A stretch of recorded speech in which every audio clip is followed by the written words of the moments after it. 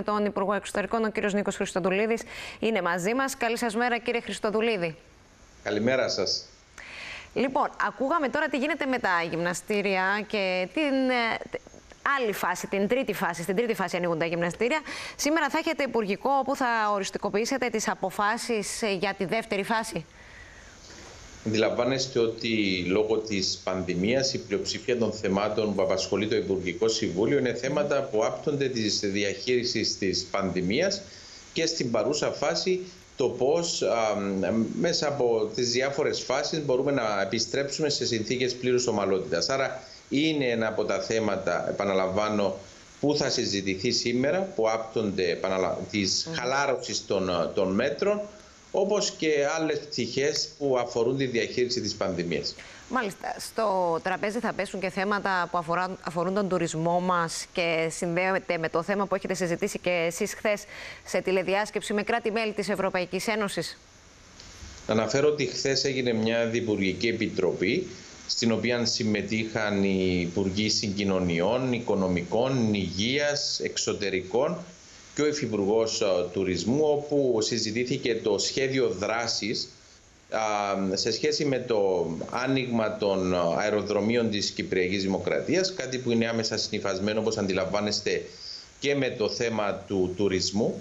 Σήμερα θα συζητηθεί στο Υπουργικό Συμβούλιο η τελική πρόταση αυτής της καθοδηγητικής επιτροπής, το σχέδιο δράσης και αναμένεται να ληφθούν αποφάσεις και ίσως έχουμε και τις πρώτες ανακοινώσεις σε σχέση με τα, με τα αεροδρόμια και τον τουρισμό μας.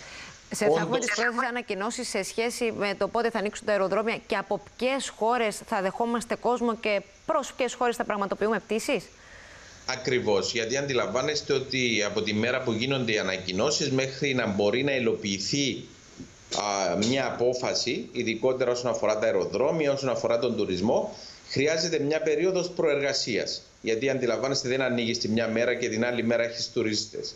Άρα πρέπει να γίνει προεργασία που άπτεται και της συνδεσιμότητας αλλά και της λειτουργίας των ξενοδοχειακών μονάδων. Άρα όλα αυτά θα μας απασχολήσουν σήμερα. Έγινε και χθες το απόγευμα θεωρώ μια πολύ σημαντική τηλεδιάσκεψη μετά από πρωτοβουλία του Γερμανού Υπουργού Εξωτερικών στην οποία προσκλήθηκε αριθμός Υπουργών Εξωτερικών από χώρες οι οποίες θεωρούνται δημοφιλείς προορισμοί για τους Γερμανούς και κατά τη διάρκεια αυτής της συζήτησης εκείνο που, που έγινε ήταν να, να ενημερωθεί η γερμανική κυβέρνηση για τις σκέψεις μας σε σχέση με το άνοιγμα της τουριστικής βιομηχανίας, τα ιατρικά πρωτόκολλα και όλα τα σχετικά που θα ακολουθηθούν σε σχέση με τον, με τον τουρισμό. Γιατί η γερμανική κυβέρνηση θέλει να γνωρίζει α, ποιοι προορισμοί, αν θέλετε, είναι πιο ασφαλείς έτσι ώστε να επισκεφθούν οι, οι Γερμανοί πολίτες. Και μέσα από τη συζήτηση, κυρία Στυλιανού, να το αναφέρω γιατί το θεωρώ σημαντικό, και είναι και μια ένδειξη, αν θέλετε, της ευχαριστίας μας προς τον Κυπριακό λαό για την στάση που επέδειξε όλο αυτό το διάστημα. Η Κυπριακή Δημοκρατία, η Κύπρος, η Ελλάδα και η Μάλτα είναι από τις τρεις χώρες της Ευρωπαϊκής Ένωσης που θεωρούνται ότι έχουν διαχειριστεί με την μεγαλύτερη επιτυχία την, ε, την ε, πανδημία του κορονοϊού.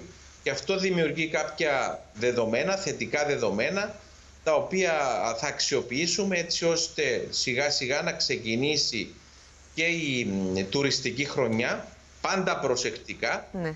Πάντα λαμβάνοντας υπόψη τις συστάσεις των ε, ειδικών και έχοντας πολύ ψηλά στην, στις προτεραιότητές μας να κρατήσουμε αυτά τα θετικά επιδημιολογικά δεδομένα τόσο για τους ίδιους τους πολίτες μας φυσικά αλλά και στην στόχο της προσέλκυσης ξένων τουριστών στη χώρα μας. Μάλιστα. Σε αυτή την ε, τηλεδιάσκεψη, κύριε Υπουργέ, συμμετείχε και η Ιταλία.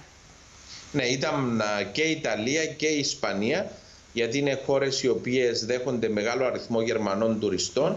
Σιγά σιγά γίνονται σκέψεις και εκεί για άνοιγμα της τουριστικής βιομηχανίας οι σκέψεις εκεί είναι λίγο διαφορετικές υπό την έννοια ότι δεν θα ανοίξουν όλες οι περιοχές είτε στην Ιταλία είτε στην Ισπανία. Οι σκέψεις τους προσανατολίζονται προς συγκεκριμένες περιοχές αλλά δεν είναι στη φάση που αν θέλετε είμαστε εμείς που έχουμε ένα πιο ολοκληρωμένο σχεδιασμό στο μυαλό μας που είναι αυτό που θα συζητήσουμε σήμερα στο Υπουργικό Συμβούλιο. Μάλιστα, για να δούμε αν και εμείς θα δεχόμαστε τουρίστες από Ιταλία ή θα πραγματοποιούμε πτήσεις προς την Ιταλία. Γιατί είναι η χώρα που άγγιξε κόκκινο. να αναφέρω γιατί είναι σημαντικό, συζητήθηκε και χθες, αλλά συζητείται και συνεχώς στην Ευρωπαϊκή Ένωση, η ανάγκη να υπάρξει μια πολιτική η οποία να μην στιγματίζει, αν μπορώ να χρησιμοποιήσω αυτή τη λέξη, πολίτες συγκεκριμένων χωρών.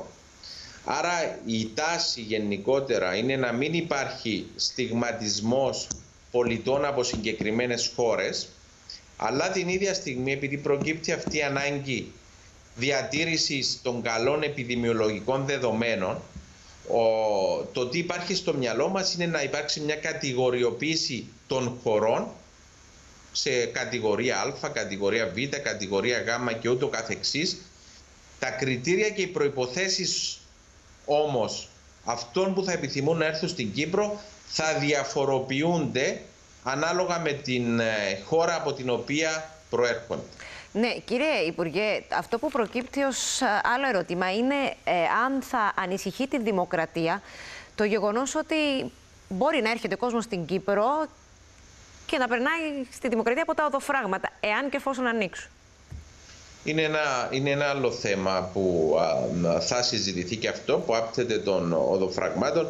Αντιλαμβάνεστε σε αυτή την πτυχή η προτεραιότητα αφορά τους Κύπριους πολίτες, Τουρκοκύπριους και Ελληνοκύπριους.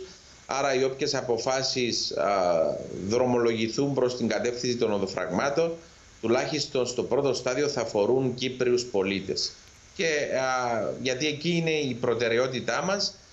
Λαμβάνοντας... Άρα θα υπάρχει έλεγχος για τουρισμό. Δηλαδή από, θα, θα υπάρχει προτεραιότητα στους Κύπριους, Ελληνοκύπριου και Τουρκοκύπριου πολίτες και για τους τουρίστες θα υπάρχει κάποια άλλη συνθήκη; Αντιλαμβάνεστε, είναι διαφορετικά τα δεδομένα για τον τουρισμό και είναι διαφορετικά τα δεδομένα για τους Κύπρους πολίτες. Αλλά ακόμη και αν, αν πάμε πίσω στα αεροδρόμια, το τι θα ισχύει για κάποιο διάστημα τουλάχιστον κυρία Στυλιανού θα είναι διαφορετικά τα δεδομένα για τους Κύπριους πολίτες και τους νόμιμα διαμένοντες στην Κυπριακή Δημοκρατία και διαφορετικά τα δεδομένα για αυτούς που επιθυμούν να επισκεφθούν για τουριστικούς ή επαγγελματικούς λόγους τη χώρα μας. Μάλιστα. Δεν θα υπάρχει όμως η καραντίνα των 15 ημερών, 14 ημερών. Ανάλογα με την ε, χώρα προέλευσης των ενδιαφερομένων. Είναι αυτά που θα συζητήσουμε σήμερα γιατί οι προϋποθέσεις και τα κριτήρια εισόδου στην Κύπρο για άτομα που επιθυμούν να έρθουν είτε για επαγγελματικούς είτε για τουριστικούς σκοπούς θα καθορίζονται στη βάση αποκλειστικά επιδημιολογικών δεδομένων των χωρών από τις οποίες προέρχονται. Τώρα, κύριε Χριστοδουλίδη, τι γίνεται ε, με τους Κύπριους οι οποίοι βρίσκονται στο Κατάρ και ζητούν επαναπατρισμό γιατί εκεί αυξάνονται τα κρούσματα και δεν νιώθουν προστατευμένοι ε, στην παρούσα φάση. Υπάρχει κάποια σκέψη να έρθουν πίσω, έχετε επικοινωνήσει μαζί τους, τι γίνεται; Να αναφέρω καταρχάς ότι μέχρι στιγμής έχουν επιστρέψει πέραν των 7.500 δικαιούχων, δηλαδή Κυπρίων πολιτών ή νόμιμα διαμένοντων στη δημοκρατία, φοιτητών και πολιτών και θεωρώ ιδιαίτερα σημαντικό ότι έγινε αυτή η, ε, η προσπάθεια μέχρι στιγμής με θετικό πρόσημο αφού περίπου υπάρχουν αιτήσεις για 9.500 με 10.000 να επιστρέψουν και έχουν επιστρέψει 7.500. Οι υπόλοιποι που δεν έχουν επιστρέψει, η συντριπτική πλειοψηφία είναι γιατί δεν επιθυμούν να επιστρέψουν αυτή την περίοδο. Υπάρχουν σε κάποιες χώρες που υπάρχουν δυσκολίες ή όλη η προσπάθεια είναι πιο δύσκολη. Είναι το Κατά, είναι κάποιες χώρες στην Ασία, είναι κάποιες χώρες στην Αφρική. Όσον αφορά το, το Κατάρ, γιατί είμαστε σε επαφή μαζί τους, είχα και εγώ ο ίδιος επικοινωνία μαζί τους, στην παρούσα φάση δεν επιθυμούν να, να επιστρέψουν γιατί εργάζονται σε συγκεκριμένα έργα αλλά εκείνο που ήθελαν η δημοκρατία να τους διασφαλίσει και αυτό πράξαμε είναι σε περίπτωση που ήδη αποφασίσουν, επιλέξουν να επιστρέψουν αυτή η επιλογή τους να μπορεί να υλοποιηθεί μέσα από σχεδιασμό της Κυπριακής Δημοκρατίας. Και ναι, είμαστε σε επαφή και με την Qatar Airlines με συνεργασία φυσικά και πρωτοβουλία του Υπουργού και του Υπουργείου Μεταφορών της ΕΡΜΕΣ, η οποία μας βοηθά σε όλη αυτή την, την προσπάθεια, έτσι ώστε μόλις προκύψει ανάγκη και επιτιμία αυτοί οι συμπατριώτες μας να μπορούν να επιστρέψουν. Να πω γενικότερα γιατί βλέπουμε την τάση, βλέπουμε το τελευταίο διάστημα μια σημαντική αύξηση των κοσμάτων στις, στις χώρες του, του κόλπου. Αν θέλετε αυτό οφείλεται σε μεγάλο βαθμό και στο γεγονός ότι λόγω της, ε, ε, του Ραμαζανιού και των ε, συνηθιών που υπάρχουν σε αυτή την, την περίοδο υπάρχουν, υπάρχουν πολλές μαζικές συνάξεις. Και αυτό αντιλαμβάνεστε ότι δεν βοηθά στην καταπολέμηση της πανδημίας. Είναι ένα, ένα δεδομένο το οποίο οδηγεί, τουλάχιστον τις τελευταίες μέρες, γιατί όπως σας είπα, καθημερινά παίρνουμε από τις διπλωματικές μας αποστολές όλα τα νέα δεδομένα σε σχέση με τον, με τον, με τον κορονοϊό, την πανδημία, βλέπουμε ειδικότερα στις χώρες του κόλπου μια αυξητική τάση. Μάλιστα.